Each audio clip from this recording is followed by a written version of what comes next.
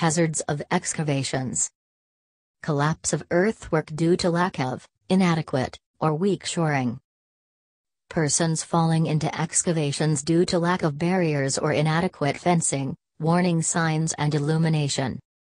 Soil from excavations not being thrown clear of the sides, causing overloading and collapsing of walls. Water seepage causing drowning or collapse of walls, failure to maintain shoring, particularly after rainstorm.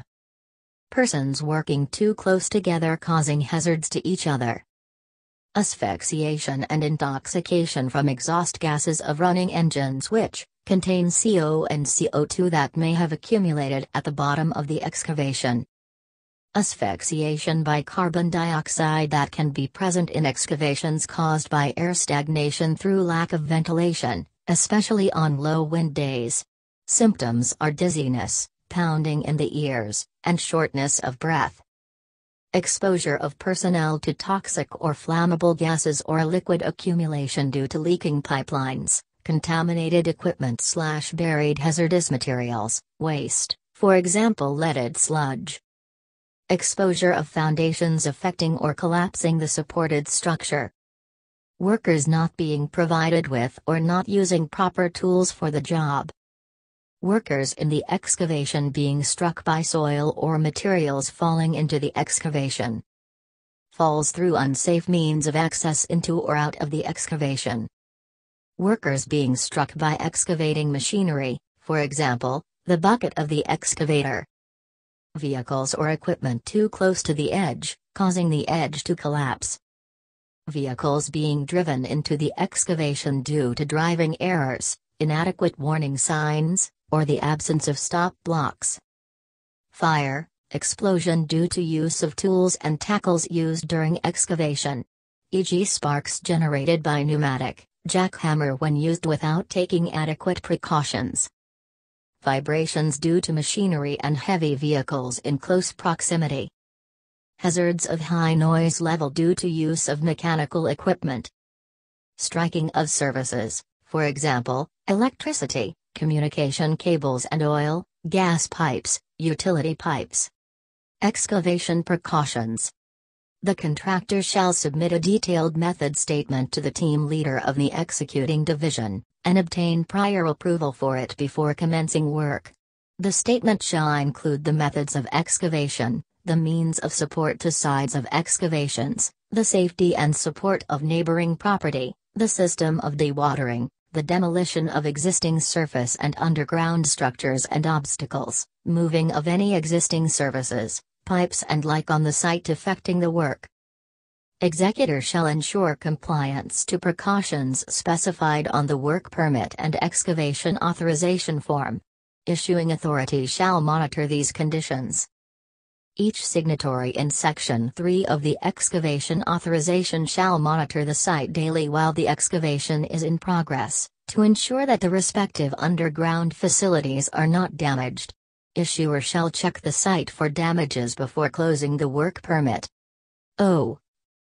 Excavations adjacent to building, structures, pipe racks, etc., may require temporary supports or strutting. Concerned civil engineer shall sign the authorization and provide the relevant safety recommendations. Certain recommendations may require to be implemented before starting of excavation work.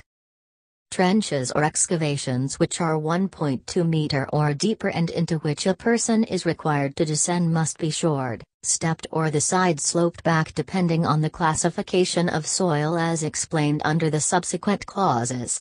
Excavations less than 1.2 meters also may require shoring depending on the nature of the soil.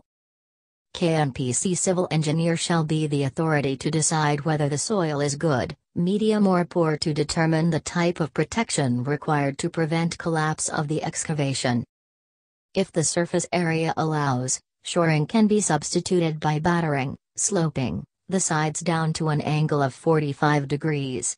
If surface area is limited, poling boards shall be placed approximately 2 meters apart with horizontal struts not more than 1 meter apart. Poling boards or sheet piles shall be placed not more than 750 mm, 30 inches, apart faced with walling at 1 meter centers, across strutted with suitable timber. Extra poling boards shall be inserted if the condition of the ground deteriorates. In all areas where excavations are to be made in loose sand or poor soil, close sheeting or sheeting piling shall be used. For excavations exceeding 3 meters, 10 feet, in depth, close sheeting or sheeting piling shall be used irrespective of type of soil. Uses of steel sheet piling Steel sheet piling is generally used on major excavations such as large building foundations or where large embankments are to be held back. It is also used where an excavation is in close proximity to adjoining buildings. The use of steel sheet piling is a similar method of trench support to closed sheeting, but does not require O. As much expertise and time. However, Skill is necessary to safely install walers and toms which support the steel sheet piling. See Appendix C. Ladder shall be positioned projecting a minimum of 1 meter above the edge of the excavation. A stairway, ladder, ramp or other safe means of egress shall be located in trench excavations that are 1.2 meters or more in depth. There should be at least two means of exit for persons working inside large excavation within 7.5 meters of travel distance. All walkways across an excavation shall be of scaffold construction with handrails. See safe work practices on scaffolds and ladders. Jumping across excavations is not allowed. Executor shall barricade the excavation to avoid the hazard of persons and vehicles falling in. Reflective warning notices, traffic cones and flashing lights should also be provided at the edge of excavation and at a safe distance ahead. Barricading material shall be able to withstand the ambient conditions and shall remain stable during adverse weather.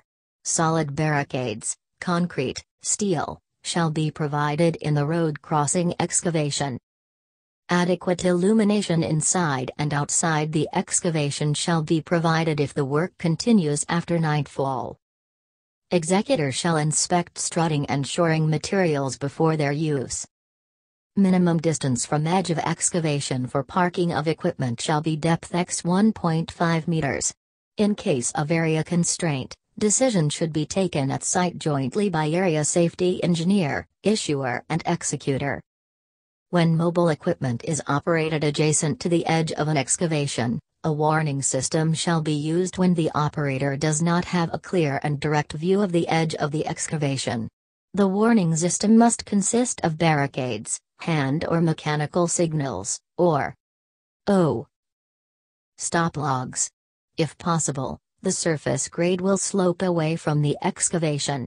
In some cases the equipment need to be tethered with restraining devices excavated soil, materials, etc. shall be kept at least 0.6 meters away from the edge of the excavation.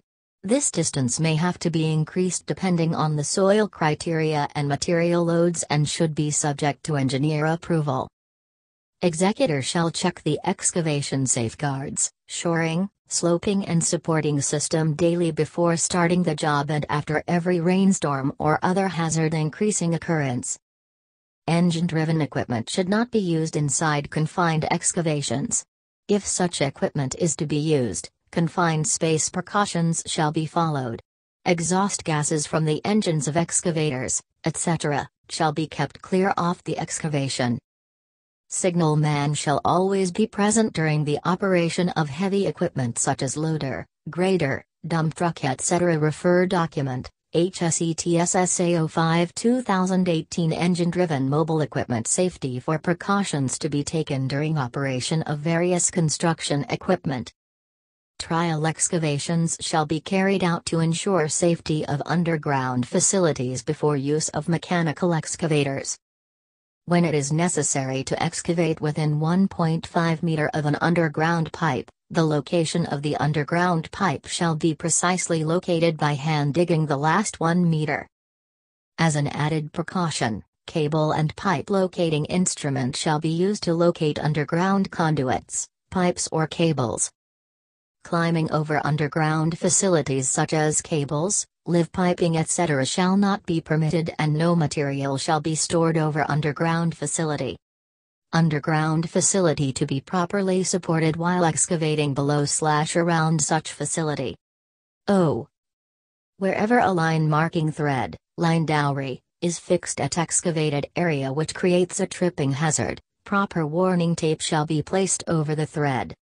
When concrete slash asphalt breaking is to be done with jackhammer near live sensitive instruments at plant site, diamond cutter should be used for cutting concrete slash asphalt initially to avoid tripping of live instrument system due to vibration and then jackhammer to be used. Use of jackhammer or cutter shall be limited to breaking of concrete or asphalt paving only. Excavation shall cease if any underground services are discovered or damaged during excavation. Matter shall be reported to the concerned division without delay. The work shall be restarted only after approval has been obtained from concerned division and a new work permit obtained.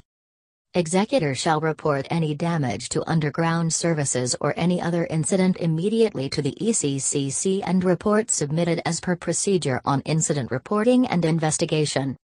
Prevention of drowning, adequate fencing, warning notices, etc., are to be provided around an excavation deeper than 1.2 meters and contains enough water to present the risk of persons being drowned. The fencing shall be removed only for the minimum time required for the passage of equipment and materials. If the excavation is in an area where persons could easily gain access, suitable rescue equipment shall be provided on or near the site. Required PPE including reflective vests shall be worn by personnel at the excavation site. Please give comment and suggestions. Thank you.